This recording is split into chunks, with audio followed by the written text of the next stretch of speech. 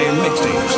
Not for the When I grew up, wanna be chill like Mike. To my cousin Ike, he do on that Kawasaki bike. He told me pay cash. I was like, how? He said, pound, dirt out.